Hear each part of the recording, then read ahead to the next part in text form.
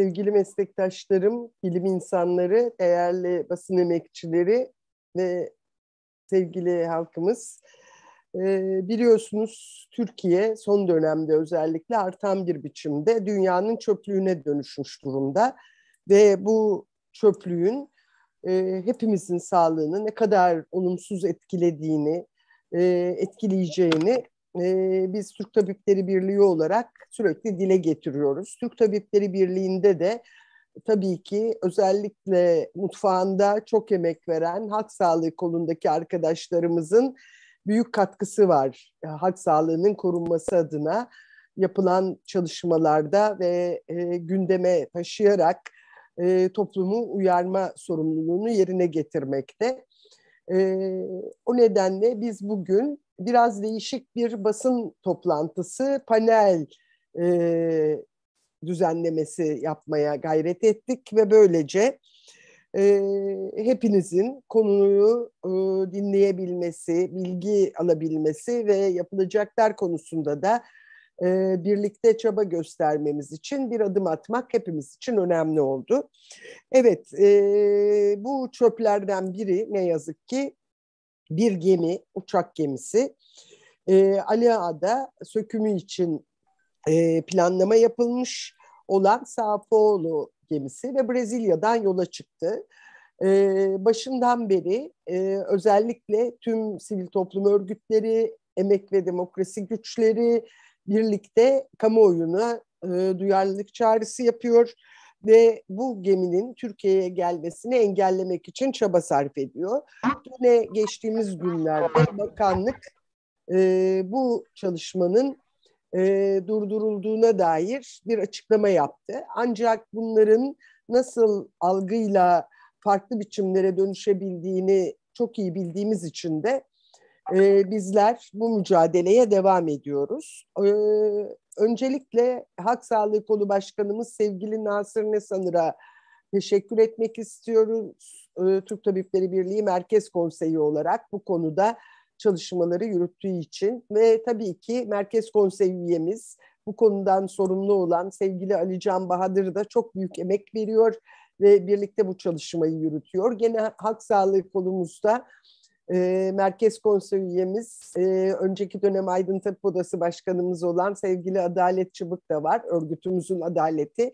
O yüzden içimiz rahat. Biz örgütümüzün adaletiyle, örgütümüzün emek verenleriyle e, bu çöpün Türkiye'ye girmesini engelleyeceğiz. Tabii bu konuda özellikle de e, çevre bilimleri alanındaki çalışmalarıyla e, Türkiye'de bu konulara emek veren çok değerli bir bilim insanı, akademisyen e, dostumuz var. E, gene aynı şekilde hem bir bilim insanı hem de bir eylemci olarak e, gene bir dostumuz bizlerle beraber içimizden e, insanlarımız olarak kabul ediyoruz onları da verdikleri emek nedeniyle. O yüzden Enver Yaser Küçükgül hocama ve e, Aslı Odman hocama çok teşekkür ediyorum. Emekleri için, yan yana durdukları ve dayanışma içinde oldukları için. E, ve tabii ki e, hak sağlığı konumuzda e, gene değerli bir bilim insanı, hak sağlığı uzmanı olarak e, Ahmet Soysal hocam e, her e, hak sağlığını tehdit eden olayda e, koşarak geliyor ve e, üretiyor her zaman Türk Tabipleri Birliği için. E, o yüzden Türk Tabipleri Birliği'nin emekçisi olarak kendisine de gönülden teşekkürler diyorum ben burada. E, biraz uzatmış olabilirim ama e, bu teşekkürleri etmesem olmayacaktı. Ne kadar önemli olduğunu biliyoruz çünkü. E, ben hemen sözü e, sevgili Enver Hocama devrediyorum. Buyurun hocam, söz sizin. Teşekkür ederim e, Şebnem Hocam. E, müsaadenizle ekran paylaşımı yapacağım. E, tabii becerebilirsem.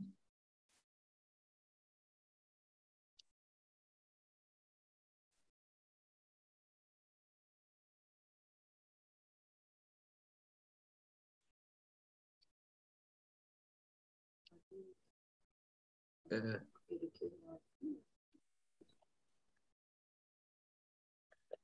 ekran paylaşımı e, yapmam için bana bir yardımda bulunur musunuz? Ad, adminliği size vermek herhalde gerekiyor. Ekran paylaşımının açık olması gerekiyor hocam. Ee, share screen'den e, aşağıda Önce faili açacağım değil mi? Ee, önce evet, önce açmak lazım. e, dosyayı açmanız gerekiyor. Tamam. Doğru. Ee, dosyayı açtıktan sonra share screen dediğinizde paylaşmak istediğiniz açık olan dosyanın üzerine geliyorsunuz ve paylaşıyorsunuz.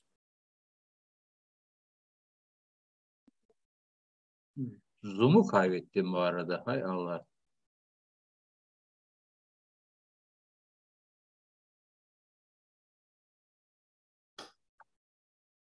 Hı.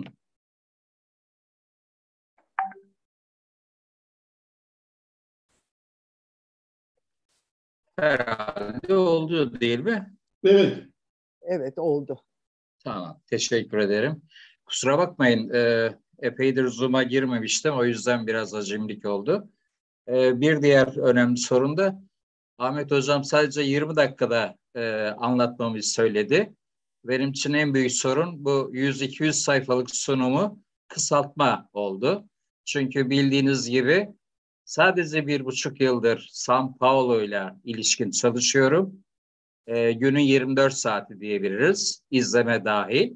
Ama ben gemi sökümü konusuyla 2004-2005'li yıllardan itibaren çalıştım.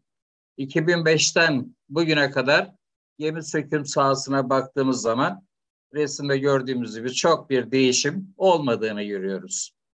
Ee, yani e, ilerleyen çevre bilimi ve teknolojisine rağmen e, bu sektörde bir iyileşme yok. Gemi sökümü bu e, tehlike işaretlerinde gördüğümüz her kapsamı içermektedir. Gerek söküm sahası, gerekse söküm sahası sonrasında. Söküm nerelerde yapılıyor? Baktığımız zaman üç büyük merkez var. Avrupa, Uzak Doğu ve Orta Amerika. Buradan gelen tüm gemiler e, başta Pakistan, Hindistan ve Bangladeş olmak üzere e, bir diğer e, aday gösterilen ve bu konuda körüklendir, körükleri desteklenen ülkede Türkiye. Bu e, e, sektöre baktığımız zaman dünyanın pek çok yerinden pek çok şekilde e, gemilerin bu üç odağa taşındığını görüyoruz. Burada e, şekil üzerinde sayılarını görmekteyiz. Burası ise bizim Ala söküm bölgesi. Ala söküm bölgesine dikkat edecek olursak şu arkadan geçen yol ve deniz arasında bir 50-60 metrelik kod farkı var. Yani gemiler baştan kara yaparak gelip bu kumsala oturarak sökülüyor. Aynen gelgitten yararlanan Pakistan, Bangladeş ya da Hindistan'daki sökümden bir farklılığı yok. Dolayısıyla bu haliyle de bu ilkel bir sökme yöntemi. Buraya biraz sonra tekrar döneceğiz. Bölge Aliağa'da yer alıyor. Aliağa'da çok sayıda ve türde sanayi kuruluşu var. Bizim e, sökümü yapma, yaptığımız gemileri e, büyük bir çoğunluğu Avrupa Birliği ülkelerinde. Bunun da temel nedeni e, maliyet sorunu. Avrupa'ya en yakın merkez Türkiye olduğu için e, Avrupa Birliği'nde 37 tane sertifikalı söküm merkezi olmasına rağmen e, bunlarda doğru dürüst gemi sökümü yapılmıyor. Türkiye'de yapılması isteniyor. Yani bizim rakiplerimiz bu alanda çevre standartlarının düzeyini çok iyi bildiğimiz Bangladeş, Hindistan, Pakistan'la aynı kulvardayız. Aynı statüdeyiz. Bu da e, çevre biliminin geldiği yer, çalışma hayatında işçi haklarının ya da insan haklarının geldiği yer açısından e, utanılacak bir durum. Bu, bu bölgedeki fotoğraflara eğer incelerseniz hiçbir koruyucu önlem olmadığını, sahada çalışmanın iş makineleriyle dahi yapılmadığını görmekteyiz. İşte bizim Ala bölgesi şu izdihama, şu e, yanaşma düzenine bir bakın. Bu şekilde bir gemi sökümü, özellikle pandemiden sonra birçok nedenle sökülen gemi sayısı hızlı bir şekilde arttı. sökülen gemi sayısı kadar önemli olan tonaj. Örneğin Türkiye 1 milyon 624 bin 568 ton gemiyi 2020 yılında söktüğünü beyan ediyor. Halbuki Avrupa Birliği ülkelerine bakarsak toplam o 37 tesiste 127 bin ton gemi sökülmüş. Yani bizim yüzde beşimiz oranında. O nedenle gemi söküm sayısından ziyade tonaj. Bu tonajda da denizcilikte bir garip bir e, birim sistemi var.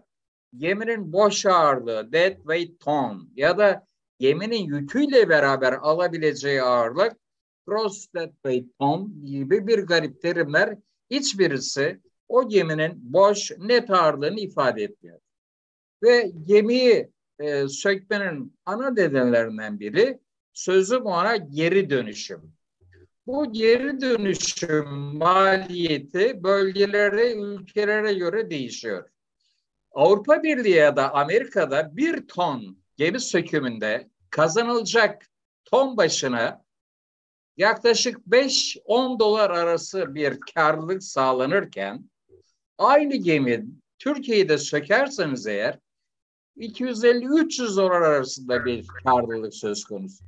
Ama bunu Bengaldeş, Hindistan, Pakistan gibi bir bölgede sökerseniz bu takdirde karınız 450 dolar civarında olmaktadır. Yani bu sektörün karlılığı işçi haklarının kısıtlandığı, yok sayıldığı, çevre hakkının yok sayıldığı yerlerde büyük bir karlılık gösteriyor. O nedenle Avrupa Amerika'da değil, Türkiye'de sökülmesini istiyor Avrupa Birliği ülkeleri.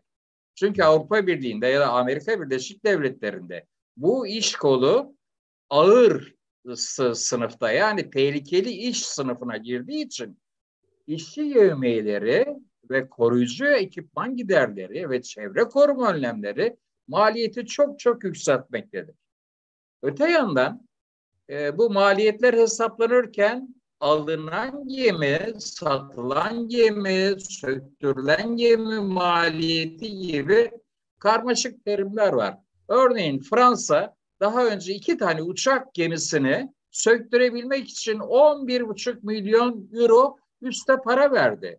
11,5 milyon avro vererek gemisini söktürüyor. Ama buna karşı daha yeni bir tarih 2016'da e, İngiltere'nin majestelerin gemisi Illustrious uçak gemisi Türkiye sökümünde Türkiye 2.7 milyon dolara satıyor.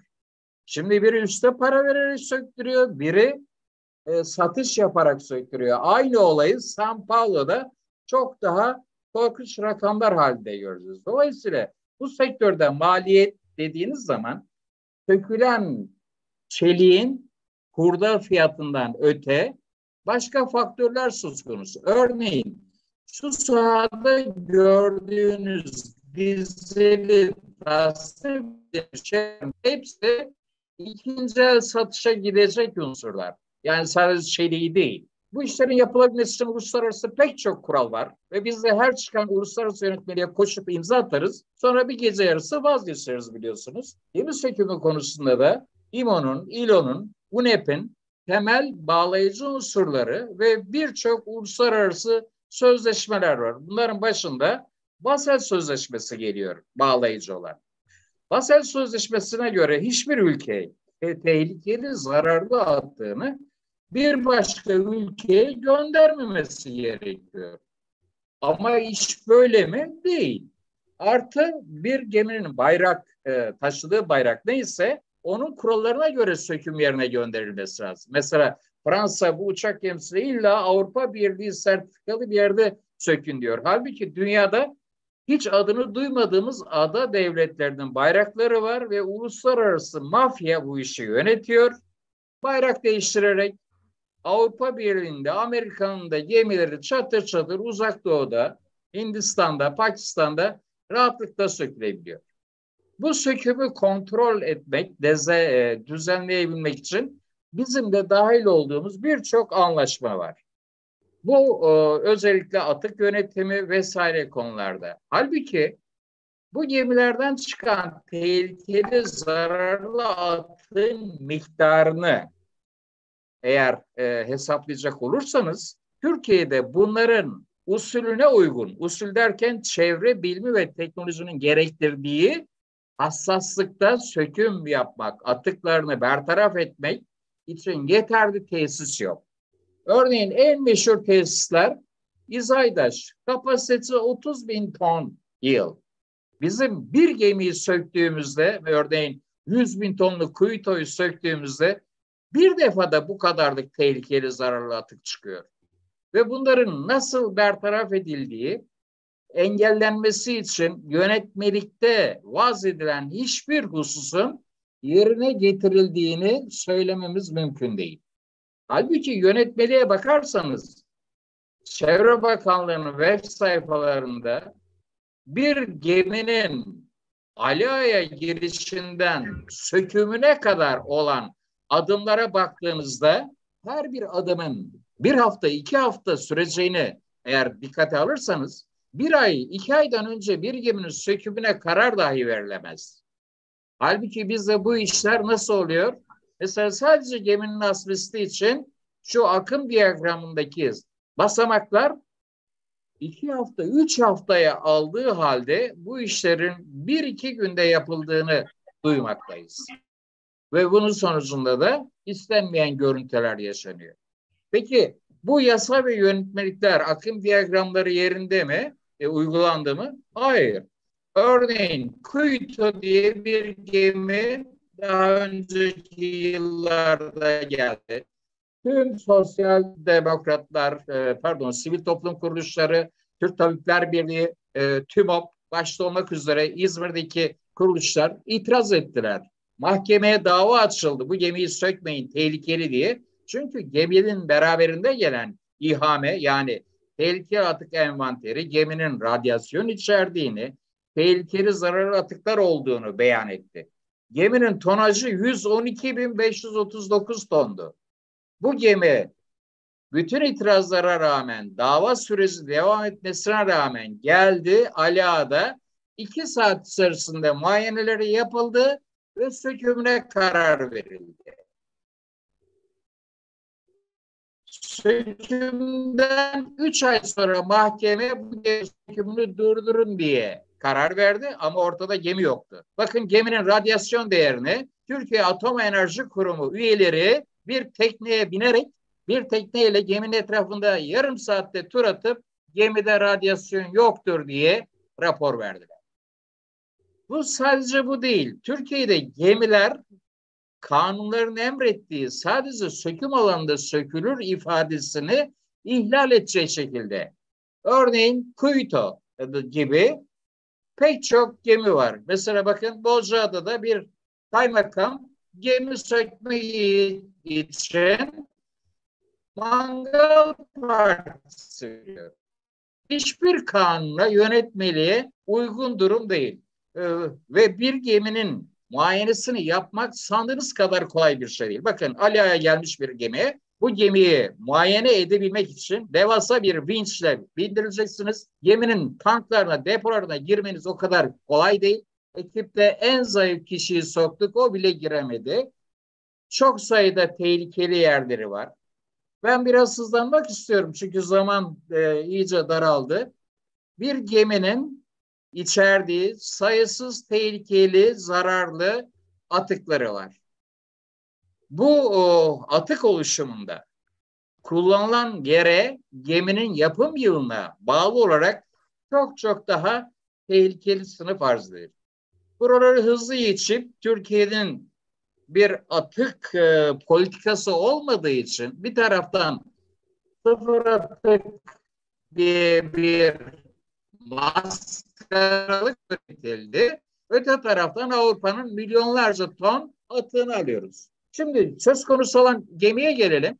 Bu geminin ikiz kız kardeşi Clemenso ve e, San Paulo yüzlerce kez e, nükleer testler için Pasifik'e gittiler. Pek çok yerde nükleer testler de bulaştılar. Clemenso'yun sökümü dört yıl sürdü. Gidecek yeri bulamadılar. sonunda Fransa'ya 20 milyon dolara mal oldu bu Clemenceau'nun sökümü.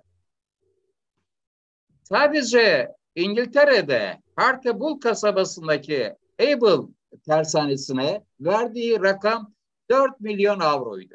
Dolayısıyla bir geminin bu kadar yüksek maliyetli olması, söküm tekniğinin uygulanması ve çevre yasalarının uygulanmasından kaynaklanıyor. Bu geminin ikizinde 760 ton asbest, PCB'ler, pahlar yani organik e, toksik maddeler 165 ton, PCB içeren maddelerle temas edip tehlikeli madde sınıfına geçen 475 ton madde Greenpeace tarafından rapor edildi. Bu geminin toplam tehlikeli, zararlı kimyasal atık miktarı 1400-1500 ton civarındaydı. Bu tamamen söküm tekniğine bağlı. Bizdeki gibi oksijen kaynağıyla sökünce atmosfere verilen gaz, toksik gazlar bu hesaba dahil. Bakın bu İngiltere'deki Hartlepool tersanesinde sökümü yapıldığı yere bakalım. Gemiler içeri alınıyor, su boşaltılıyor. Burada dökülen her şey usulüne uygun temizlendikten sonra açılıyor. Halbuki bizde her şey denize sıfır bir vaziyette. Aynen Bangladeş, Pakistan'dan bir farkımız yok. Bu çağda bu şekilde gemi sökmek utanılacak bir konu. Ayrıca bu geminin daha evvel yayınlanan e, İHAME raporunda bu raporu hazırlayan Great Grand şirketi rapor hakkında bir sorumluluk almadığını beyan etti. Ve geminin ancak yüzde on ikilik kısmını muayene etmişti. Örneğin radyoaktivite hiç ölçülmemişti. Bu kadar nükleer teste katılan bir gemide. Buna karşın TEMMAK Nükleer Denetleme Kurumu İstanbul'dan bir firmaya bu ölçümü yaptırdı. Geminin boyutlarını hatırlayalım. 266 çarpı 51 eni boyu. Yani güvertesi 14 dönüm. Aşağı doğru da 13 kat var. Bu firma sözüm ona akredite bir firma her güvertede bir ölçüm yapmış. Her katta bir ölçüm ve rapor düzenlemiş. Şimdi bu kadar büyük bir gemide siz yüzde 82'sini muayene etmeden verseniz raporla bir gemiyi söktüremezsiniz. Nitekim bakanlık biraz etti ve gemi şu anda Atlantik Okyanusu'nda tur atıp duruyor. Ama bu tur bir yerde sonuçlanacak. Bakın bunlar Avrupa Birliği'nde o 37 tane tersanedeki sökümün nasıl yapıldığını gösteriyor. Hiçbirisinde baştan kara ya da kıştan kara diye bir şey yok. Kuru havuzlara gemiler alınır ve orada işlem yapılır. Bizde de bu işlerin yapılmasına 2004 yılında Çevre Bakanlığı'na bu firmalar taahhüt vermişti. Bir yılda, beş yılda, on yıl içinde yerine getireceklerini. Ama hiçbir husus yerine getirilmedi. Biraz daha hızlanmak zorundayım. Herhalde bir dakikam kaldı. Bakın ben bunlar yapılırken e, bizdeki denizciler gemi sökümün usulünü bilmiyor zannediyordum. Halbuki bizde dünyanın en büyük kuru havuzu varmış. Bakın İstanbul'da 100 bin ton kapasiteli bir kuru havuz. Siz kuru havuza gemiyi aldırıp çevre korumasını yapıp her tür atık bertarafını burada yapabilirsiniz. Ee, benim sandığımın aksine bizim denizciler her bir konuyu biliyor ama çevre korumayı bilmiyor. Bakın yine Avrupa'dan bir örnek, bu da Türkiye'den bir örnek. Bu da Amerika Birleşik Devletleri'nden adeta fotoğraf çektirmek için bir söküm yerinin belgesi. Peki biz bunları bilmiyor muyuz? Biz bunların alasını biliyoruz. Bakın Osmanlı döneminde yapılan Haliç tersanesi, kuru havuzlar. Haliç'te üç tane bunun gibi tersane vardı. Çok iyi bildiğiniz gibi Katarlara satıldı, Araplara verildi. Buralar lüks eğlence merkezlerine dönüştürüldü. Halbuki 600 yıl önce, 650 yıl önce bu topraklarda bir geminin inşası ve bakımı için havuzlama tekniği vardı. Türkiye'de böyle kullanabileceğiniz bir yer yok. Türkiye ne istiyor? Böyle Bangladeş, Pakistan, Hindistan gibi söküm tekniği. Ben bir iki cümleyle bu ihame raporlu yani bir geminin sökülebilmesi için gemi söküm planına esas alınan tehlikeli atık envanterinin e, detaylarına girmek istiyorum.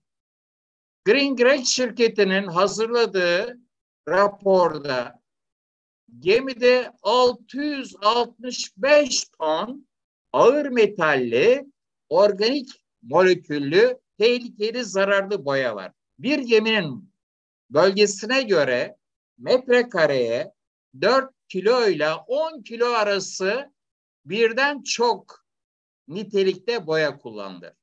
Dolayısıyla bu boyaların tümü kanserojen, tehlikeli, zararlı, ağır metal içerir.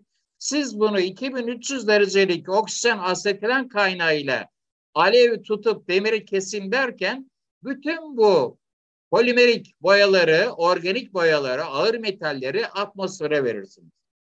Bu birinci raporda toplam 665 ton bu boyadan bahsetmesinin yanı sıra ikiz kız kardeşindeki 760 ton asbest yerine burada 9.6 ton asbest var diye bizim bakanlıkta iftarda açıkladı. Bu gemi ayın 26'sında Çevre Bakanlığı'nın gelme e, kabulünü durdurduktan sonra illegal olarak mı, legal olarak mı bir ikinci ihame hazırladı. İkinci ihamede bu boyaların hiçbiri yok. Tamam uçmuş. Asbestin de 400 kilosu kaybolmuş ve gemi pırıl pırıl olduğunu iddia ediyor İHAME. Buna göre bir söküm raporu hazırlanmış. Ama işin komiğine bakın. Raporun üstünde geminin 1-8 Ağustos tarihleri arasında Brezilya'da limandayken muayenesinin yapıldığı ve örneklerin alındığı raporda yazıyor. Bu raporu veren uluslararası akredite bir kurum. Halbuki gemi ayın dördünde limandan ayrılmıştı. Bu nasıl bir yalan? Bu da yetmiyor. Rapor 27 Ağustos tarihini taşıyor. Rapora bir bakıyorsunuz kaç noktadan örnek alınmış, kaçında madde tespit edilmiş. Mesela 290 noktada asbeste bakılmış, 211'in içinde asbest diye bir şey yok. Organik moleküller, toksik moleküller yok. Ağır metaller hiç yok. Hatta komediye bakın. Civa. Görsel olarak bakmışlar civa yok. Radyoaktivite. Görsel olarak bir yere bakmışlar sadece bir noktaya. Hayret hiç radyoaktivite diye bir şey yok. Dolayısıyla birinciden sonra hazırlanan ikinci ihamede alabildiğine insanın aklıyla dalga geçmek için yapılıyor. Siz 1-8 Ağustos'ta numuneleri alıyorsunuz. Altısında uçağa binip 9'unda İstanbul'a getirip 13'ünde analizleri bitirip imzalıyorsunuz. O deminki tablo için alınan örnekler 23 Ağustos'ta Malezya'ya gönderilmiş. Oradaki bir akredite laboratuvarda analizleniyor. Ve o analizlerde de hiçbir şey bulunamamış.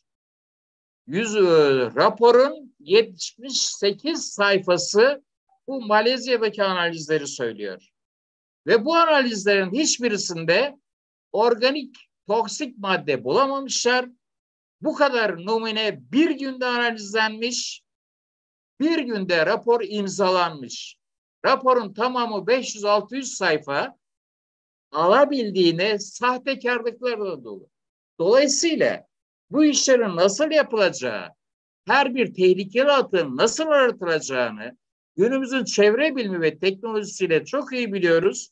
Ben zamanımı biraz fazla kullandım. O nedenle e, eğer daha vakit kalırsa orada devam ederiz. Şimdilik e, burada çalışmayı duruyorum. Özellikle vakit olursa size bu tablo hakkında bilgi vereceğim. Bir sonraki konuşmacıyı daha fazla meşgul etmeyeyim. Teşekkürler. Çok teşekkür ederim Enver Hocam. Gerçekten çok bilgilendirici ve hepimizi e, kaygılandırıcı e, bir aktarım paylaşım oldu. E, tüm Türkiye için bu paylaşım çok kıymetli bence.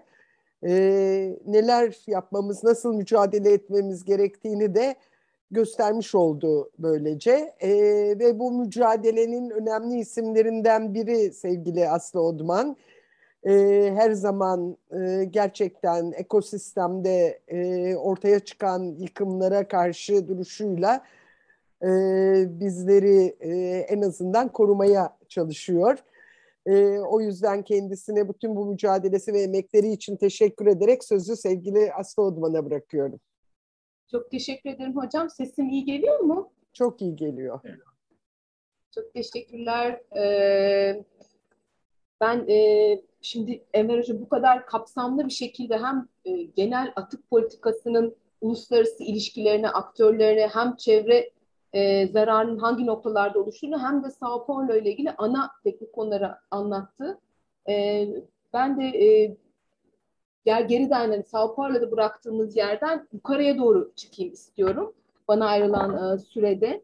E, birincisi bu Sao Paulo'nun şu anda durdurmuş gözüküyoruz. Tabii her an daha izlemedeyiz ama e, ciddi bir şekilde moral olduğunu görüyorum pek çok e, kişide. E, yani en sonunda uzun zamandan beri çok açık bir şekilde e, işte açık e, kapı atık politikası, e, yalnızca hani, e, dizginsiz bir büyüme, iş cinayetleriyle büyüme, eko kırımla büyüme rejim içine bir gedik açamıyorduk. Koskoca Fırat Havzası e, içine siyanürlü ha, şey patlatıldı. Orman yangınları bitmiyor. Yani esasında büyük bir e, çok daha büyük çaplı, büyük ölçekli eko kırımlar varken çok ufak bir şeyden bahsediyoruz bunda karşılaştırınca. Bu noktada e, tabii uluslararası alanın da iyi kullanımı. Bence uluslararası ve yerel mücadelenin internasyonalist çevre ırkçılığına karşı bilgi zemini e, çok iyi işlenmiş bir mücadele yani öğretici mücadele olduğunu düşünüyorum. O yüzden biraz bu uluslararası yerel ilişkisinden bahsetmek istiyorum. Yani kazan, en azından iyi örülmüş, sonucu ne olursa olsun iyi örülmüş ve e, yalnızca gemi e, özelinde geminin gelip gelmemesi meselesini yani gemide somutlanan sorunları Türkiye'nin e, yabancı bir gemide tırnak içinde soyutlanan Türkiye'nin kadim sorunlarını, kadim yavaş suçlarını, kadim faillerini konuşulabilir hale getirdi. O yüzden bu başarı hissini alıp e, esasında halen devam etmekte olan diğer yavaş suçlara, işte açık kapı atık politikasının getirdiği tarım havzalarına yığılan plastiklere, e, işte Türkiye'de 6.3 milyon çocuğun e, kanında sınır değerden daha fazla 19 milyon e, 14 yaşına kadar çocuğun e, sevgili Bülent Şık'ın yine Sao Paulo gemisindeki kurşunlu kadmiyumlu boyalar vesilesiyle yazdığı 2021 Lancet çalışmasına dayalı e, kurşun zehirlenme oranı ne kadar e, yüksek olduğunu, e, aslında o gemiye e, bindirildiği zaman konuşulabilir hale gel, e, gelmiş olan çok daha e, büyük ölçekli bir sorun e, Türkiye'de kentsel dönüşüm kaynaklı asbest meselesi. Çevresel, mesleki değil ama Türkiye büyük bir ihtimalle yıkıma bağlı asbest maruziyet salgınından önümüzdeki 10-20 yani daha doğmamış nesillerin üzerinde de şimdiden e, bir kısmı artık geri dönüşsüz olan e, bir e, yıkıma gidiyor ve belki de bunda da Türkiye aynı silikozis kod kumlamada silikozis gibi Türkiye yıkıma bağlı maruziyet, asbest maruziyeti üçüncü bir alan olarak Türkiye katıyor olabilir.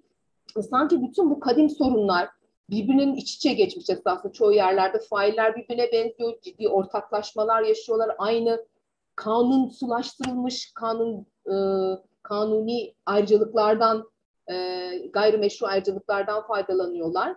E, ama sanki bütün bu kadim sorunları, ortak payları bir ufak bir yabancı gemiye koyunca çok kadim ve yerli milli sorunlarımız konuşulabilir hale geldi. O yüzden ben bu kısmı hepimizin ihtiyacı olan bir şey yapabiliyoruz. Bu kadar irademiz e, ezilmiyor. Hani e, bir kukla gibi e, e, bilgimizle, vatandaşlığımızla, yurttaşlığımızla ortada kalmıyoruz. Sesini kıran bu örneği e, bir güç, enerji, sinerji olarak nasıl bir mücadele oldu, nasıl e, devam etmeli ve bizi konuşturduğu sorunlar esasında mücadele alanı nasıl kurmaya e, yönlendiriyor? Bundan bahsediyor hocam. Önce çok somut ampirik e, konular çünkü derli toplu TTB'nin kaydında e, kalsın da istiyorum. E, şimdi dediğim gibi uluslararası, ya gerçekten internasyonalist bir e, mücadele ölçek ölçük sorunun yaratıl, yer aldığı yalnızca gemi ölçeği yani işte 200 küsür metrelik bir 62 yaşında bir nükleer e, uçak gemisi e, gibi bir tanımlanmış bir sorunun içerisinde e, tam da sorunun düştüğü muhataplarının ama bu meselenin hiçbir yerde hiçbir yerel çevre sorunu yoktur ki zaten küresel bir e, suç teşkil etmesin. Tam da küresel çevre ılışkın, e, e, ırkçılığına karşı mücadele eden, uzun zamandan beri mücadele eden, varlık nedenini buradan kuran, milli olmayan o açıdan e, partnerlerimizi, ortaklarımızı işte sağlık iş güvenliği uzun zamandan beri çok şey öğrendiği, bir kısmı zaten bir kısmında e, Tabipler Birliği'nin sık sık davet ettiği e, kurumları anmak istiyorum. Yani hani bir teşekkür babında değil, tam da kendi e, ulusal ölçeklerinde yerelleştirdiği başka hangi mücadeleleri de götürdüklerini konuşursak esasında bence e, mücadelenin ortaklıklarına dair de e, yönlendirici olabileceğini düşünüyorum.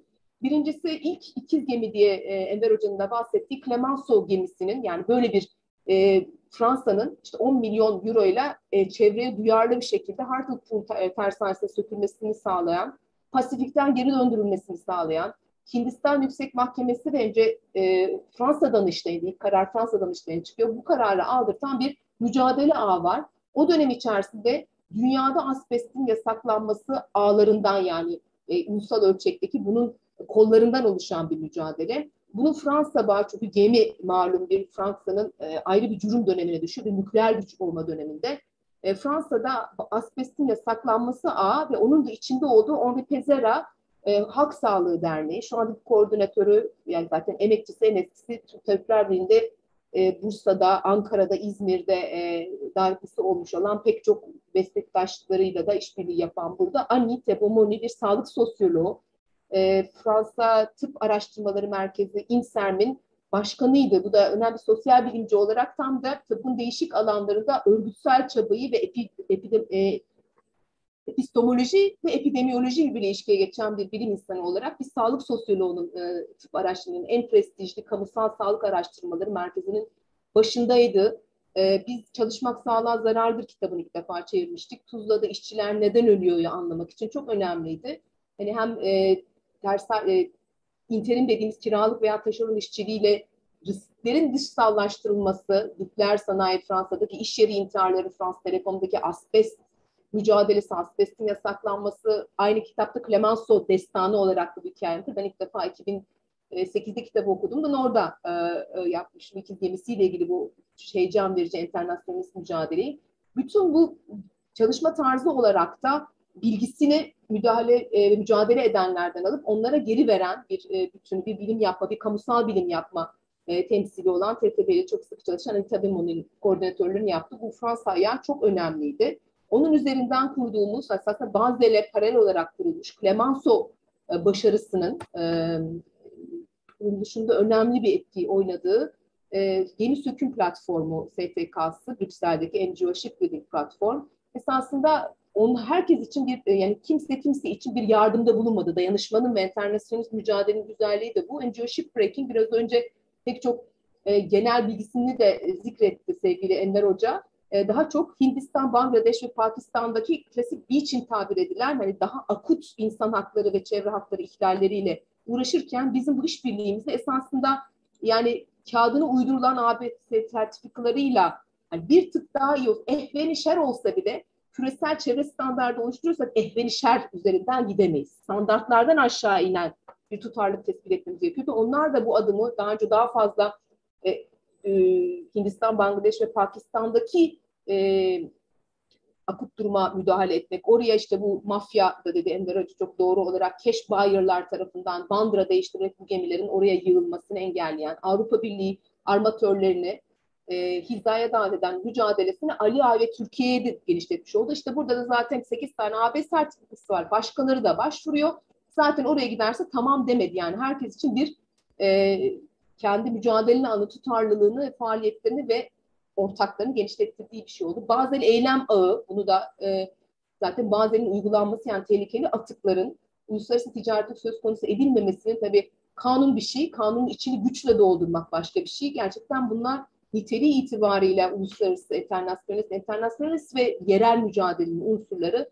Yine onların hukuki e, ekspertizlerinden, işte uluslararası ihale süreçlerindeki açık verilerin kullanımından, bizim burada işte hızlı bir şekilde aynı anda bengeler geldiğinde işte Enver Hoca ve pek çok hızlı bir şekilde e, her alanın altını uzmanıyla yurt dışındaki uzmanları değişik gemi örnekleri karşılaştırabilecek bir dil kurmamızdan, bir de yani temiz bir bilgi verisini aynı anda Brezilya Çevre Bakanlığı'na, Türkiye Çevre Bakanlığı'na, transit ülkelere, e, Avrupa Birliği kurumlarına, daha sonra Interpol'a kadar giden bir biraz gerçekten çerçeve mücadelesinde bu kadar e, dizivari kriminal şeyler olmuyor ama giden noktada hızlı bir şekilde kendi ortamlarında maskı grubu olmak, e, kanunun hangi maddesine tekabül ettiğini ifade edip neden eyleme geçtiklerini hatırlatmak.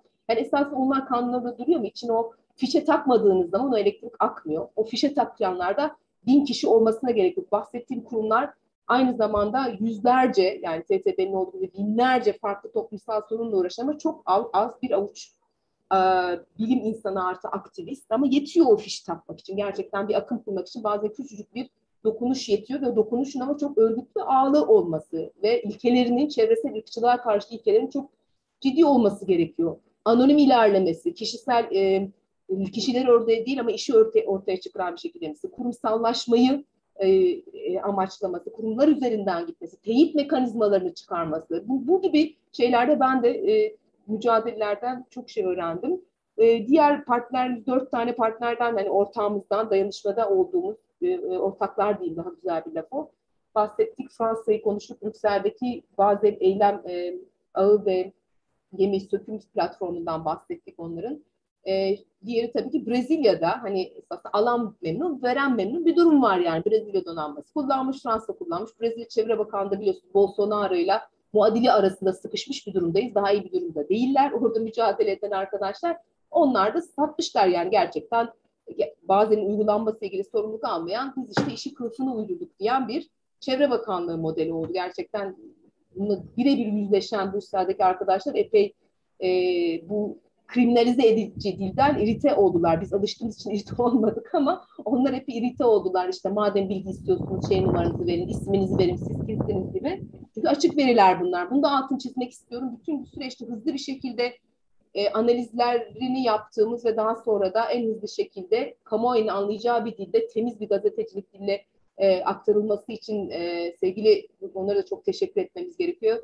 Emekçi gazeteci arkadaşlarımızla aktardığınız bilgilerin hepsi açık veri. Esasında mücadele yapmak isteyen insanlar verilerini de erişebiliyorlar. Yani önemli olan bunları e, düzgün bir şekilde, bilimsel bir şekilde ama anlaşılır bir şekilde aktarmak. E, bu verilerin alınması Brezilya Çevre Bakanlığı, Brezilya'daki ayağımız da yine beni çok heyecanlandıran bir mesele. Çok eskiden işte dediğim gibi kendi ülkelerinde çok erken bir zamanda asbestin yasaklanması için bir halk mücadelesi kurmuş olan e, kişiler, bilim insanları işte Anita Bomoni gibi, Henri Tezera gibi aynı zamanda madem Fransa'da yasaklandı şimdi de sosyal dumping, çevresel dumpinge karşı uluslararası da e, asbestin yasaklanması ağını kuruyorlar. Oradan oluşan o esasında her mücadele o anda yüzünden seksenini kaybetse bile bir sonraki mücadelenin gücünü veriyor. Yani bir toprağa atılan tohum gibi ben buna gerçekten inanıyorum. Kendi kendine iyi hissetmek için söylenen bir şey de olduğunu düşünmüyorum. Yani birinin omuzunda yükseliyoruz. Belki de bir zaman ciddi bir kayıp diye yaşanmış, emeklerin heba olduğu düşünmüş şeyde Clemence'la mücadelesi veya asbestin e, yasaklanması için ağın kurulması çok hızlı, buraya da hızlı elektrik akması sağlayan ayrı trafoları olmuşlar. Bunun Brezilya'da asbeste maruz kalanlar ağının ABRE'ya e, kısaltması. E, onların bu gemideki asbest içeriğinin Brezilya'da esasında Brezilya'da yani neredeyse orada sökülmesi gerekiyor tezini savunan. Hani bakarsanız asbestle ilgili bir şeyin asbestin Brezilya'da sökülmesini eğer e, metodolojik milliyetçi bir akış, e, bakışla istememesi lazım. Bu işte çevre, halk ve işçi sağlığı birliği bakışının internasyonist bakışı tabii üç, üçlü bütünsel bakış bunu getiriyor. Bu bunun güzelliğiydi. E, Abria'nın desteği çok önemli oldu. E, bu bizim çevre ağın içerisinde aynı zamanda orada oluşmuş olan işte askeri e, daha belleksel amaçlarla korumak isteyen bir Sao Paulo Enstitüsü'yle veya bazı ticari çelişkiler yaşayan burada gemiye alan şirketin de yani orada başka amaçlarla açılan davaların hep arkasını bu uluslararası, internasyonel çevre, halk ve işçi e, e, sağlığı eksenine çekmeye çalıştılar. O yüzden Abrea'nın, Fernandez'in Abrea'nın ismini de çok zikretmek istiyorum. E, en sonuncusu da Londra'da Uluslararası Asbestin Yasaklanması Ağı Koordinasyonu bu meseleyi, bu meselemiz konu yalnızca asbest değildi. Yanlış bir ayakla başladık asbestli gemi diye. E, gemiye e, yüklemeye çalıştık. Milyonlarca tonluk yıkıma bağlı e, maruziyet gözümüzün önündeki göremediğimiz bir psikolojik tepkiyi de bir yandan da gözümüzün önündekinin devam etmesini sağlayan yerel ve merkezi otoritelerin buna e, yönelmekten çok daha e, yurt dışından gelen bir gemi yönelmesiyle de ilgiliydi. Ama yine de asbest e, konusu eskiden halk mücadeleleriyle daha sonra uluslararası mücadele haline gelen e, asbest ağının üzerinden ilerlediği için iyi tematize edilebildi diye düşünüyorum ve onlardan ortaklarımız daha öne çıktılar. E, bu bunu da o yüzden e, bir söylemek e, istedim. Yani buradaki ulusal e, işte işte basın, bilim insanları, yerel çevre örgütleri, işçiler, e, uluslararası e, organizasyonlar ve ulusal ölçekli hukuk alanı bunların hepsinin aynı anda çoklu bir kullanımı e, çok önemli. Tabii bu küçük bir e, şey. Türkiye'deki altın madenciliği, ormanlar, işte kuşun sorunu bütün bunlar çok daha uzun erimli çalışmalar, çok aktörlü meseleler ama bence soyutlanabilecek yönleri olan da bir mücadele türü olduğunu düşünüyorum. Gelelim e, süremi de geçirmeyeyim. İkinci bir uluslararası alana gelelim. AB sertifikaları. Genel olarak Enver Hoca bahsetti ama e, burada da esasında bu meselenin bizim için yani Sağlığı İş Güvenliği Meclisi'nde ki işçi sağlığı, hak sağlığı, çevre sağlığı birbirinden ayırmayan, bütünsel, ekolojik demeye çalışıyoruz. Mücadele için her zaman gemi söküm önemli olmuştu. Biliyorsunuz senenin ilk iki ayında ve Şubat ayında da 11 gün üretimi durdurdu orada işçiler. Ee, bir zamandan beri bu özellikle sertifika hikayesi çıktığı zaman Ali Ağa'da yani yaşamak için esasında hayatta kalmak için e, kısmi göreli olarak e, yüksek ücretler alarak ama aynı zamanda kesim olarak sağlığını e, ve ömrünün ciddi bir kısmını kaybederek çalışan işçilerin e, bu gelir seviyesini kaybetmeden ama yaşamlarını kazanacak bir metot olduğunu inanıyorum. Örgütlenme buydu. İlk taleplerinde 11 e, gün boyunca üretimi durdurduklarında tabii ekonomik talepler çıkmıştı ama biraz daha çekince zaten işte e, taleplerinde e, fiiliyatta usulsüz yapılanlar da ortaya çıkıyordu. Kişisel koruyucu donanımlardan ücretlerin e, çalışma sürelerine kadar ücretlerin tam yatırılmaması ve sosyal sigortalar sisteminin bypass edilmesi gibi bunların hepsi e, esasında tabii ki işçi sağlığı sorunları. E, bu bu konu AB bu tam da işte Türkiye'nin AB bandıralı gemiler yani esasında Avrupa Birliği'nde Green Deal dediğimiz yeşil e, gündemin e, Türkiye'ye çöp satışı, çöp ihracatı olarak burada metal, plastik gemiler ve çöp ihracatı olarak yansıdı çok fantastik oksimoron bir dönem yaşıyoruz esasında. Kağıt üstünde olanla fiiliyatı yan yana koymak gerekiyor. Gemi söküm açısından bizde bu AB sertifikaları olarak gözüktü. Enver Hoca zaten çerçeveyi e, koyduğu için bunu tekrar etmeyeceğim. Ben bir tek somut ampirik duruma değineyim. Türkiye'de şu anda 8 tane tersane AB sertifikası var. Bunlar iki senede bir, bir AB denetiminden, bir akredite firma ve AB'den gemi söküm biriminden sorumluyla denetimlerden geçiyorlar. Şu anda yine bu hafta içinde de denetimler var. E, daha 9 tane daha tersane başvurmuş durumda almak için. E, tabii ki bir bir akreditasyon bu. AB bandıralı gemiler başka yerlerde sökülemediği için bu artık Avrupa Birliği'nin Green Deal içindeki yeni gemi söküm mevzuatının mecburiyeti bandıra kaçakçılığı yani bandıra mafya, mafyası yapmazsa o armatör ki dediğim gibi en büyük sorun zaten o. E, bu sökümden önce e, adaların e, vesaire bu gibi e, posta kutusu ülkelerin bandırasına geçmesi ama bir bunu sağladıktan sonra böyle olmamasın yani. İşte bu şekilde hiçbir sertifika sürecinden geçmemiş, hani hiçbir şey olmamış, yani ehvenişer bile olmayan yere itmemesi bir başarı, ne uluslararası mücadelenin başarısı. Ama bunun sonucunda e, sertifikaların kalıbına uydurularak dağıtılmasını kabul edilemez olduğunu uzun zamandır söylüyorduk. Yine dediğim gibi uluslararası bilgi birikiminin akmasıyla 30 Haziran'da İşçi Sağlığı Meclisi olarak e, şey diyelim onu call for evidence geçen bir arkadaş sonra dela, e, delile davet gibi bir daveti var ve her türlü bu olaydan etkilendiğini düşünen AB'nin diliyle paydaş bir rapor yapabiliyor. Beş tane akut sorunu öne çıkararak bir rapor yükledik. Ne olarak? Biz de işçi, halk ve e, çevre sağlığıyla e, uğraşan bir e, sivil toplum örgütünün gönüllüsü olarak bireysel yükleme yapılıyordu. Çünkü tescilli bir değil AB tarafından. E, burada beş tane ana meseleyi ortaya çıkarttık. Esasında sertifikasyon ve denetim meselesinin üstünü örttü. Birincisi müthiş yüksek bir e, ölüm e, e oranı, ölüm insidansı. E, 2021 senesinde yaklaşık 1500 işçiden 5 işçi ölmüş. İşte 100 bini oranlarsanız korkunç bir e, fatalite oranı çıkıyor. bizim işçi sağlığı meclisindeki tarayarak bulduğumuz bütün rakamların 20 misli falan üstünde diğer sektörlerde. Ah bir sektör değil SGK'ya göre ama yalnızca ala üzerine baktığımız zaman. İkincisi 76'dan beri görüştüğüm var. Bir adet meslek hastalığı tanısı yok. Tersaneye girebildiğim tek seferde bu uluslararası delegasyonla dönem iş yeri hekimi övünerek söylemişti. Biz dedi tarihimizdeki bir, bir kez bile meslek hastalığı bizde görülmedi. Delegasyon sevineceğini üzüldü.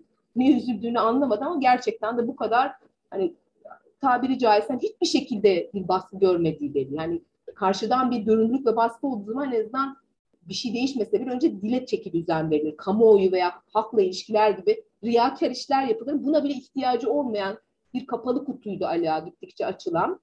Ee, bu ikincisi meslek hastalıkları tanıtımı tamamen gerçek koyulmamış olmasının ciddi usulsüzlüğe işaret ettiği. Üçüncüsü asbest bertaraf oranlarının e, miktarlarını Çevre Bakanlığı söyledi. Gerçekçi olmadığı, e, yani görgül olarak sürekli skandallar zaten patlıyor biliyorsunuz. İşte e, gemiler e, dışarıdan IMO numarasız geliyorlar. Dışarıdan getirilen işçilerle diğerlerinden ayrılar sökülmeye çalışıyorlar vesaire. Yani burada yapacak çok iş var da. Ama Bertrand hani çok güzel bir tesis var. Her şey kalıfına uygun.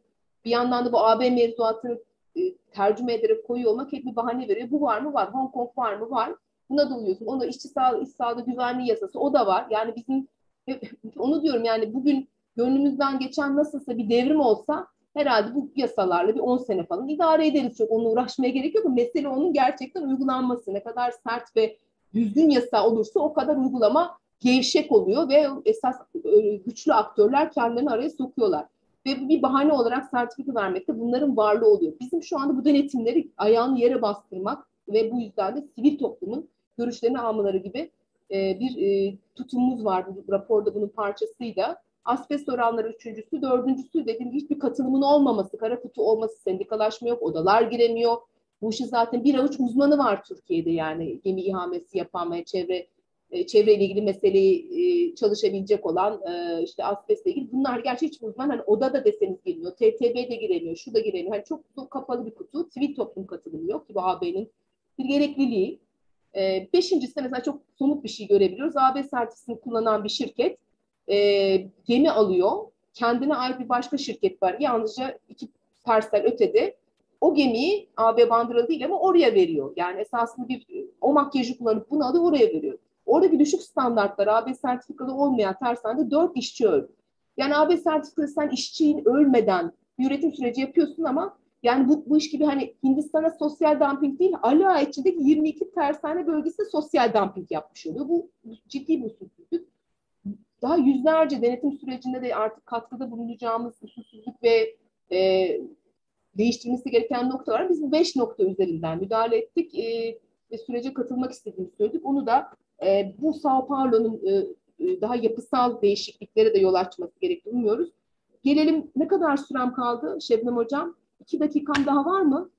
Ee, yani toparlayabilirsek hızlıca iyi olur. Aslında bu gerçekten basın açıklamasından kapsamlı bir panele evet. döndü. Çok evet. teşekkürler ama evet, evet hızlıca. Yalnızca hızlıca tabii bu da o zaman şununla bitireyim. Dediğim gibi uluslararası anı bir değerli toplu anlatmak istedim. Baştan böyle niyeti bozmuştum ne yazık ki sanırım. E, gemiye sağanlar diyelim. Yani sadece bu gemiye evet bu geminin üzerinde konuşu gemi söküm kurduk ama bu gemiye sağanlar çok daha kadim meseleler asbest ve kentsel dönüşüm konusunda şu anda ses çıkaran yerel belediyenin, Büyükşehir Belediyesi'nin çok daha tutarlı olması gerekiyor. Koskoca bir alan artık cezai, yeni binayı yönetmekte cezai imkanları da var. Bunların hepsi e, kamu kusuru, hizmet kusuru teşkil ediyor şu anda yapılmayan her şey. Kentsel dönüşüm, yıkımlar bağlamında asbest veya e, ağır metaller ve kurşunun hiçbir şekilde asbest mevzuatı kadar güvenceli olmadığı için besin zincirine kadar çok ciddi burada metal fabrikaları üzerinden bir çevre e, e, yıkımı yaşattığını yalnızca gemi söküm üzerinden e, değil ama bu mevzuatı bu kadar güçlü de değil dediğim gibi. Gıda zincirine kadar giden meselenin çalışılması gerekiyor bu burada metal fabrikaları. 1 milyon ton işte 800 bin mi yaklaşık 1 milyon ton eğer gemi sökümden geliyorsa 25 milyon ton geçen sene Türkiye hurda metal almış Amerika Birleşik Devletleri ve Avrupa'dan. Avrupa Birliği'nin bir numaralı ülkesi biraz önce Enver Hoca da söyledi. Bunların hepsi tarım havzalarının ortasındaki e, şeylerde fitre sorunları yaşayan haddehanelerde ergitiliyorlar e, ve e, besin zincirine karışıyorlar. Çünkü bir üzerindeki toksik boyaları, ağır metal ağırlıklı boyaları kazıma gibi bir e, gereklilik gözükmüyor. Yani genel olarak bu açık kapı atık politikasını e, de sorgulattı ve sanırım burada kurabildiğim söylemde çevreciler ve e, işçiciler diye bir ayrım olmadan işçi, halk ve çevre sağlığının ayrılamaz bir zincir olduğunu göstermesi açısından hem ekolojik bir mücadelenin e, belli dillerini, uluslararası yerel ilişkisiyle ilgili iyi vurgular, öğrendiğimiz ufak mütevazı vurgular yaptığı açısından da çok önemliydi. Şimdi işte sabahleyin Emre Hoca haber verdi. Tornistan etmiş gibi gözüküyor. Ee, eğer o giderse biz daha bu meseleleri daha çok yoğunlaşacak, bu enerjimizi verecek çok yer olduğunu görüyoruz. Çok teşekkür ediyorum TTB'ye böyle değerli toplu dinleme ve aktarma fırsatı da verdiği için. Çok kolay e, gelsin diyorum tüm tabiplerimize. Biz çok teşekkür ederiz. Gerçekten çok kıymetli bilgilerdi ve mücadelenin her zaman kazandırdığını da gösteriyor bize aslında. Mücadeleden vazgeçmemek gerektiğini. Kolay değil, yavaş ilerleyen bir süreç ama biz mücadele konusunda kararlı oldukça e, bu mücadeleleri kazanacağız. O da muhakkak. Ee, sevgili Ahmet Hocam, halk sağlığı adına, e, halk sağlığı kolumuz adına bu çalışmaların içinde yer alıyor. Kendisine ben sözü hemen devretmek istiyorum e, yapılan çalışmalarla ilgili.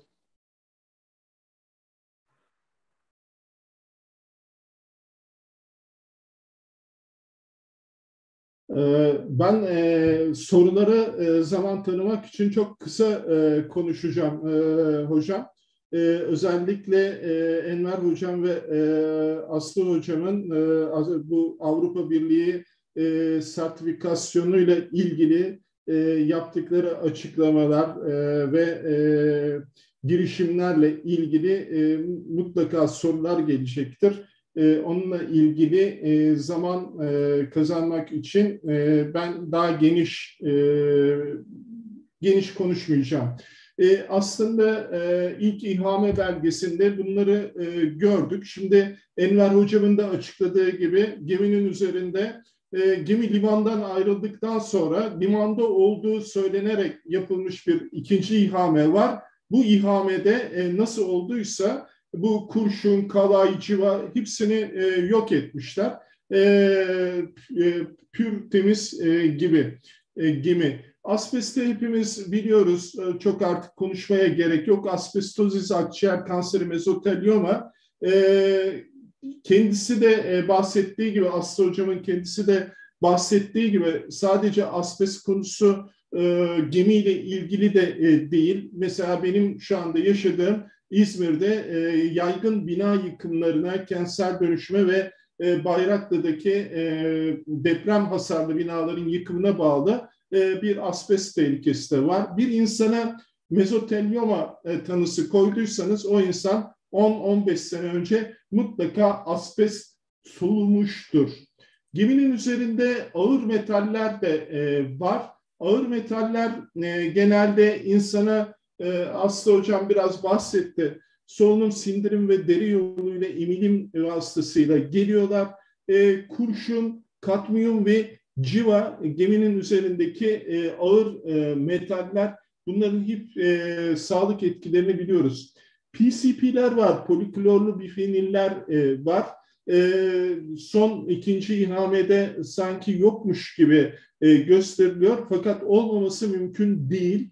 E, çünkü kullanıldığı alanlar itibarıyla ve bu geminin 1957-60 arasında imal edildiğini düşünürsek PCP'ler mutlaka vardır. Kanserojenik, immün sistem baskılayıcı, teratojenik ve endokrin e, bozucu etkileri var. Ozon delici kimyasallar var. Bunları Avrupa Birliği'nin müktesebatının geçerli olduğu yerlerde kesinlikle atmosfere bırakılmadan toplanması e, gerekir. Ama oraya gittiğiniz vakit böyle bir düzenekten haberleri olmadığını görürsünüz. E, bir başka kimyasal e, daha var.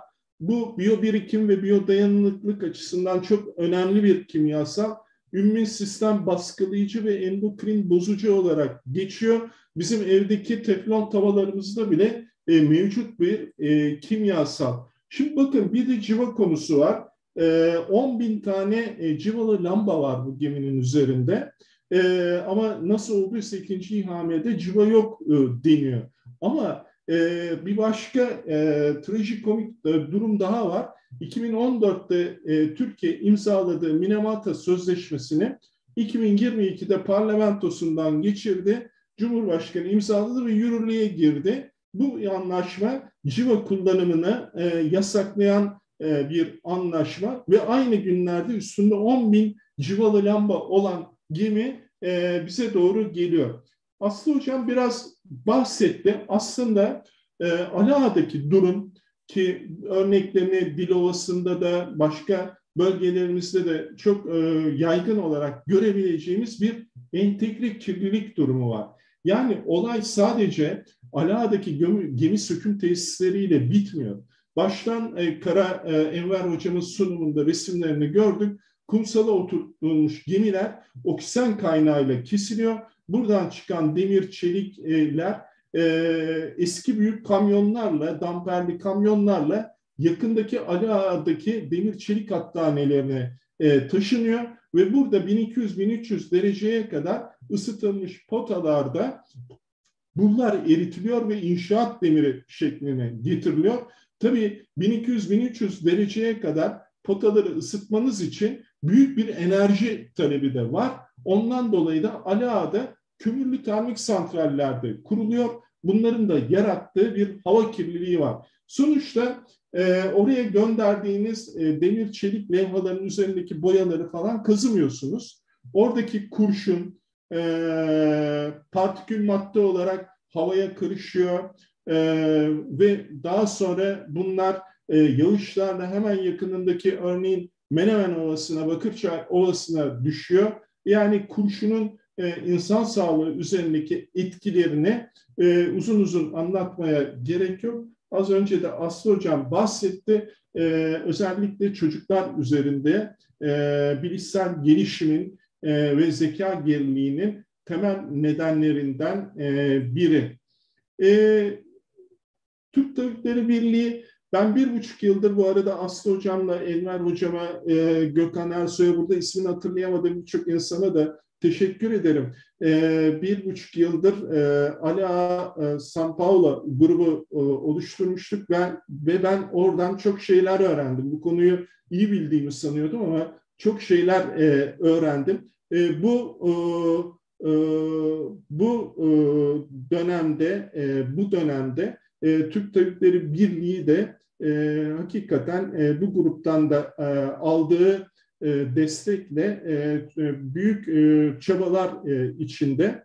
E, bu çabalar e, bu e, süreçte e, San Paulo bir e, aslında bir simge, bir gemi. O gelse de gelmese de sorun orada duruyor. Neler öğrendik? Deniz hukukunu gayet iyi öğrendik. Cebeli Tarık'tan geçer mi, geçmez mi, uluslararası su mu, değil mi e, gibi. E, tehlikeli madde envanterini ve içeriğini hekimler olarak hepimiz öğrendik. Hatırladık Ala sorununu, Ala'daki e, kirliliği, Ala'daki kirliliğin nasıl e, sadece Ala'yı değil, e, bütün bir çevresini e, etki altına aldığını, e, gemi sökümü ve ona bağlı olarak demir çelik hattaneleri ve kömürlü termik santrallerle giden entegre kirliliği de hatırladık. Bazel Konvansiyonu'nu, Barcelona Sözleşmesi'ni ve İzmir Protokolü'nü e, hatırladık ve buradan bize e, e, ortaya çıkan uluslararası haklarımızın farkına vardık. Çevre ve sağlığımıza 1988-89 e, Gencelli direnişinden bu yana ilk defa bu kadar toplum olarak aktif bir şekilde sahip çıktık. Enver Hocam'ın e, Enver Hocam'ın e, sunumunda e, gayet e, güzel vardı grafikleriyle. San Paulo sadece bir simge. Aslında yılda 150'den fazla tehlikeli atık niteliğindeki geminin sökülmek üzere Ala'ya geldiğini biliyoruz ve bunu e, unutmayacağız. E, şimdi e, mücadele zamanı diyoruz. Aslında o gemiyi geri çevirmemiz e, moralimizi arttıracak ama işimizin bittiği anlamına e, gelmiyor. Ben burada sözlerime e, son verip e, özellikle Enver Hocam ve Aslı Hocam'a gelecek e, sorular için biraz zaman bırakayım hocam. Çok teşekkür ederiz Ahmet Hocam. Gerçekten e, çok kıymetliydi sağlık açısından yaşayacağımız ciddi sorunları e, paylaşmış olmanız. E, çünkü bir hekim meslek örgütü olarak hak sağlığını koruma görevimiz tam da buna işaret ediyor. Başka bir sorunumuz daha var bizim tabii. Sizler sunum yaparken özellikle de sevgili Aslı'nın sunumu sırasında şunu düşündüm ben. Bir sebep sonuç ilişkisi kurma e, özrümüz var. Eğitim modelimizin içinde yok sanırım. Sebep sonuç ilişkisi kurma ve sonucun aslında hangi sebeplere dayalı olduğunu işaret etme. Meslek hastalığı bildirimlerinin olmaması üzerinden düşündüm bunu e, insanların yaşam koşulları, çalışma ortamları, çalışma koşulları gözetilmeden sadece bir sağlık sorunu saptanıp ona yönelik tedavi yürütüyor hekimler. Oysa tam da geçmişe dönük bütün bunların araştırılıp aslında sebeplerin ortaya dökülmesi ve ilişkinin kurulması önemli.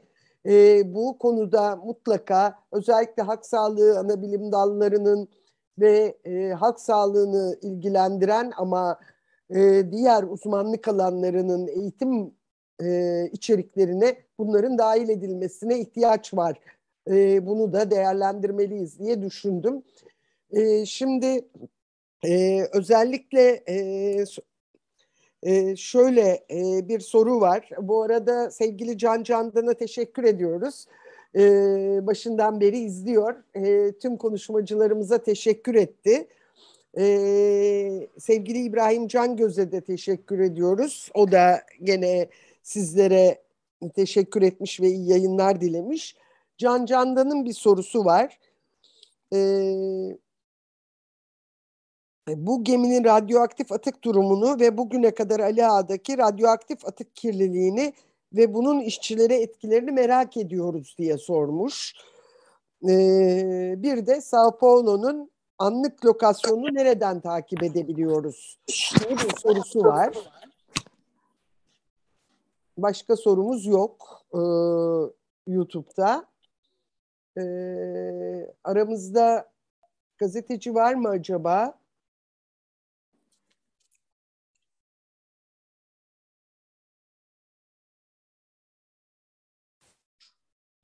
Yok sanırım. O zaman e, bu sorular var. E, bu soruları e, belki yanıtlayabilirsiniz. Enver Hocam siz mikrofonunuzu açtınız. Buyurun. Önce size söz vereyim. Ee, özür dilerim. Ee, benim internet e, gitti. Cep telefonundan ancak bağlanabildim. Ee, yani 30 saniye önce e, devredeyim. Soruları hiçbirini duymadım. Öyle mi? O zaman hızlıca evet tekrarlayayım isterseniz tamam. ama daha çok sağlıkla ilgiliydi e, bir soru. E, ama size önce e, sevgili Aslı'ya da Sao Paulo'nun anlık lokasyonunu nereden takip edebiliyoruz diye bir soru var. Ee, Ve de Enver Hoca daha iyi zaten yapar. Birçok site var bu alanda. Marine Traffic e, başlıca, e, Vessel Finder gibi birçok internette gemi takip sistemi var çekicinin adını Alt Center'a girince oradan e, e, her iki siteden de izlemeniz mümkün. Ben e, bir aydır gece gündüz yapıştım ekrana. Şu anda da yine bir arkadaştan istedim. Gemi e, geriye döndü, rotasında güneye doğru ilerliyor. E, ama henüz e, sinyal e, bildirimi gelmemiş. Yani talimat bekliyor koduyla yoluna devam ediyor varış limanı tanımlanmamış. Evet. Çok teşekkürler. Ee, sağlıkla ilgili soruyu belki tekrarlayayım mı sevgili Ahmet Hocam? Yok yok siz... e, gerek yok hocam. E, şöyle e, söyleyeyim. E, radyo e, aktivite e, bu gemide e, bulunabilir. E, ama e, Enver Hocam'ın da e, sunumunda söylediği gibi ciddi bir ölçüm bu gemide yapılmadı. E, büyük, çok büyük bir e, gemi. E, yapılan e, ölçüm sayısı e, çok e, yetersiz e, ve o nedenle sonuçları e, güvenilmez. Bu gemide radyoaktivite olduğunu şundan dolayı düşünüyoruz. bu gemi çok uzun yıllar e, nükleer denemelerin içinde rol aldı. E, böyle bir emperyal bir geçmişi olan bir gemi Pasifik Okyanusu'nda. E, geçmişte nükleer, e, radyoaktif gemiler geldi mi e, şeklinde bir e, sorunun ikinci bölümü vardı. E, şöyle söyleyeyim, e, birçok savaş gemisi geldi. Hatta e, İngiltere'ye ait dört tane de bildiğim kadarıyla nükleer denizaltı geldi. E, onu Enver Hocam daha da iyi bilir.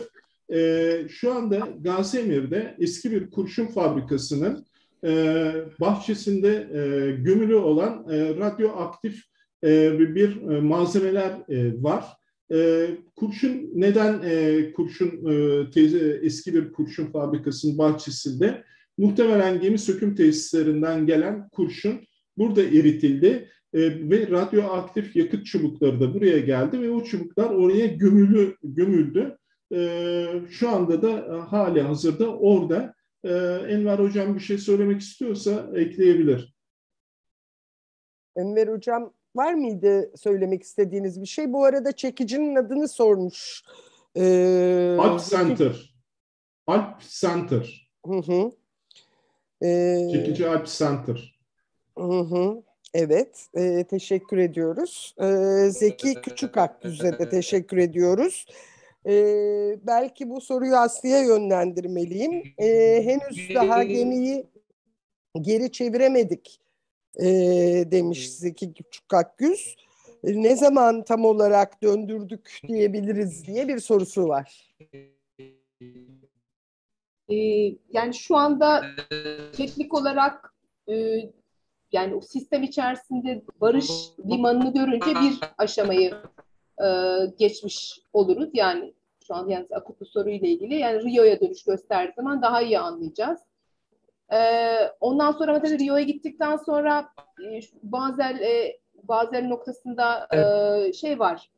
Tekrar bir ihame yaptırabilir. Tekrar bu ihame yaptırır. Bu sefer tekrar Brezilya arkasına dönür. Tehlikeli madde envanteri bir kez daha gelmeyi dener. Yani kendi gemiden vazgeçip vazgeçmeme kararını e, rentabilitesini tam olarak öngöremiyoruz. Çok kadar kolay da vazgeçmeyebilir. Yani yeniden unutturduktan sonra bir kez daha Çevre Bakanlığı'ndan izin, bir kez daha Brezilya Çevre Bakanlığı'ndan izin almayı deneyebilir. Yani o yüzden her aşamada e, yapmak ve esas geminin içine de yüklü olan kadim sorunlarımızda da e, burada işlemeye başlamak en iyisidir diye düşünüyorum. Ufak bir canın sorusunu ek yapacağım. Bu geminin radyoaktif serpintiye mesela 24 Eylül 1964'te Rigel operasyonunda maruz kaldığını, bu kadar spesifik de biliyoruz. De, plütonyum, 14, plütonyum ve izotop 14'e maruz kaldığına. Çünkü e, nükleer test mağdurları e, derneği var ve onların da bir bağımsız laboratuvar var. E, AVEN derneğin adı, Kriliat'ta laboratuvarın adı. Onlar e, gemi insanları ve bunu üreten işçiler, tabii bunlar nükleer başlıklı gemiler üretirken öldürüyor, 7 gün 24 saat içindeyken öldürüyor ve yüz, yüz binlerce insanı değil nükleer testlerle ve canlıyı e, geri dönüşsüz bir e, yıkıma uğratıyor ve bunlarla ilgili dava açıldı Fransız devletine ve bu süreçleri belgelemek için bir e, nükleer test mağdurları derneği var. O yüzden teker teker hangi bomba ne zaman atıldı, e, ne gibi etkisi oldu bunları yapıyorlar. O yüzden mesela Foş'un örneğinde gününü bile biliyoruz nükleer serpinti ve çeşidinin de e, o derneklere de yine Henri Pezara Derneği üzerinden ulaşabiliyoruz. Bunu da bütün mektuplarımıza koyduk yani. Bu 1964'teki izotop 14 ve plütonyum nereye gitti? Testlerinle de ilgili ciddi şaibeler olduğunu da biliyoruz. Dediğimiz gibi kazan dairesinde bir sürü kurşunlu, kadmiyumlu 180 bin ton boya var. Bunların shield e, e, yapıcı, kalkan oluşturucu gücü olabilir. Başka türlü radyoaktif cihazlar olabilir içinde. Bunlarla ilgili hiçbir şüphemiz yani halk sandık şüphe prensibi tersi kanıtlanmadığı sürece bizim için güzel tehlikeli bir atıktır. Ee, ben e, ben Aslı Hocama bir e, soru sormak istiyorum. Aslında hep e, gemi üzerine lokalizeyiz ama e, bu gemi sayesinde açtığımız bazı tartışmalar da oldu. E, örneğin e, en büyük tartışma bu Avrupa Birliği'nin sertifikasyonu ile ilgiliydi. Acaba bundan sonra bu Avrupa Birliği sertifikasyonu konusunda nasıl gelişmeler olabilir? Ee, az önce Enver Hocam'ın gösterdiği gibi kuru kapalı havuzlar sistemine geçilebilir mi? E, bu konuda herhangi bir e, intibası var mı? 30 Haziran'daki mektuptan sonra Avrupa Birliği'nin e, refleksleri nedeniyle. Evet, 30 Haziran'dan ilk defa bu iş formal olarak da sivil toplum tarafından talep edildi. Yani bunu protesto eden daha içe dönük e, işte yazılar, bilimsel çalışmalar, basın açıklamalar dışında doğrudan kurumlarda iz bırakmak demek ki önemli oluyor. Bir rapor ve çok esasında hızlı, çok daha da epey yüzeysel bir rapordu ama çok hızlı geri dönüşü oldu. Ve bu süreçten sonra artık e, işte odalar, e, kamu yararına odalar, sendikalar, e, uzmanları kapsayan bir sivil toplum katılımından geri dönüş olacağını zannetmiyorum. Zaten Avrupa Birliği'nin mevzuatı da bunu gerektiriyor. Bununla ilgili en son kertede evet burada bir kuru havuz olmadığı sürece bu standartlar varmış gibi yapamıyoruz dememiz gerekir. Ona gidinceye kadar da pek çok dediğimiz gibi genel iş cinayetleri insidansı, e, meslek hastalıkları, asbest söküm e, gibi konuları da ele almaya devam edeceğiz. Bence bu kanal buradan açıldı ama çok daha e, üzerinde durmamız gerekiyor. Denetimlerin kapalı kutu yapılıyor olması, yalnızca tersane içi görüşmeler yapılıyor olması, iki günde bitmesi ve haberli olması büyük sorunlar. Bu sorunların olduğunu Avrupa Birliği de e, kabul ediyor. Ve yani eğer ciddi bir güvensizlik olursa bütün gemi söküm mevzuatı, bir tek Türkiye'de değil, gemi söküm mevzuatında güvenirliğini ve Green Deal'in de güvenirliği sarsılacağı için eminim kendi çıkarlarına da olacaktı. Bu yalnızca o tutarlılık, o mevzuat bütününü ayakta tutmak için de önemli. Ben umutluyum o yüzden ve tam da bu noktayı işleyebiliriz. Somut sahadaki bilgiyi aktaracak kanallarımız açılıyor gibi gözüküyor. Tabiplerin de, e, İzmir'deki tabiplerin de içinde dahil olduğu bir grup çalışmamız var bununla ilgili. Çok teşekkür ederiz. Bu arada Can Can'dan aynı zamanda Gazi Emir'i sormuştu. Ee, ben sesli olarak buradan yanıtlayayım çünkü sevgili Ahmet Çete yazdı. Maalesef kapsamlı bir halk sağlığı çalışması yapılmamış durumda. Enver Hocam siz söz istiyorsunuz. Buyurun lütfen.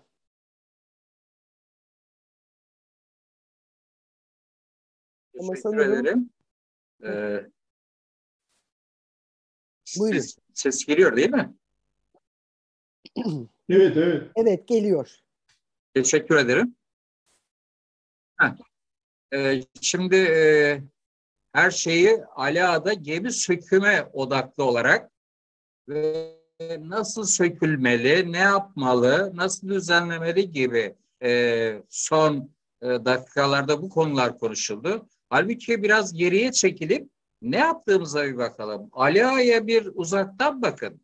Orada 2900 tane sanayi kuruluşu var. Bazıları sektöründe dünyanın en büyüğü. Örneğin rafinerinin hemen yanında gaz dolum tesisleri, yanında petrokimya tesisleri var ki daha evvelki Petkim'in kapasitesinin tam üç katına çıkarıldı Sokar şirketi olarak. Bu kadar yüksek yoğunluklu bir çalışmanın hemen bitişinde termik santraller, devamında demir çelik tesisleri. Ama bu demir çelik tesisleri hurdadan yani Avrupa'nın, Amerika'nın kirlettiği üzerinde her tür toksik, organik, zehirli atıkların bulaştığı boyalı hurda metalleri alıyoruz akkor sıcaklıkta bir ark ocağının içine atıyoruz. Türkiye'de demir hurdadan demir çelik üretimi yüzde yetmiş oranı Avrupa Birliği ancak yüzde otuz oranında bunu kullanıyor. Çünkü elektrikli ark ocağında hurdayı yüklediğiniz an bütün bileşenlerini atmosfere gaz olarak veriyorsunuz. Ağır tüm ağır metalleri toksik organik kimyasalları.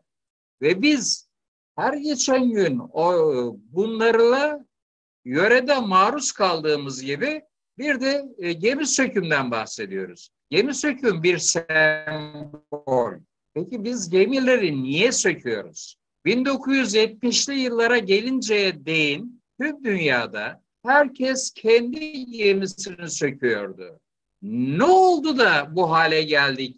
Bangladeş'e, Pakistan'a, Hindistan'a, önceleri Çin'e de yüklemiştik. Ve biz kahraman gibi fırladık, biz sökeceğiz diye. Bizim bu sökme isteğimiz bizzat Cumhurbaşkanlığı tarafından bir talimat. 13. kalkınma planlarını okuyun. Metal sektöründe Cumhurbaşkanlığı bu hurda gemi sökümüne önem vermeliyiz. Çin'e, Hindistan'a, Bengaldeş'e, Pakistan'a gemi göndermemin yanı sıra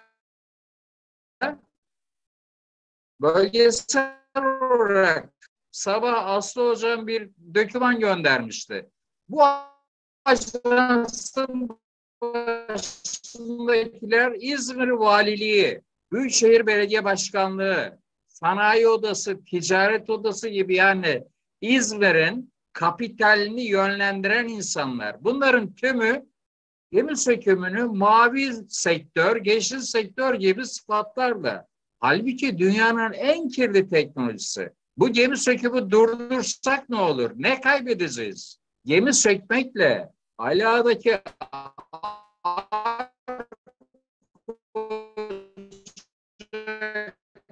Emir Hocam eğer duyuyorsanız görüntünüzü kapatıp konuşursanız e, görüntünüzü kapatıp konuşursanız daha iyi duyulabilir.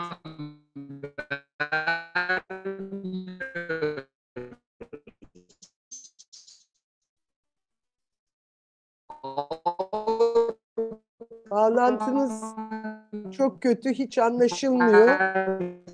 Ee,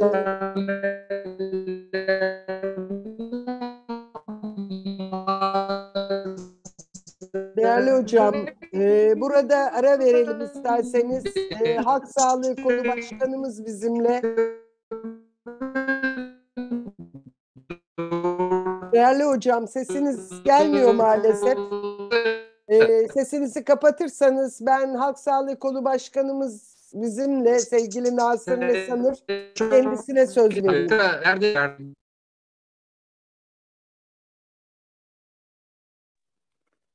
E, e, e, herkese iyi günler hocam. Size Enver Hoca'ya, Aslı Hoca'ya ve Ahmet Hoca'ya çok teşekkürler.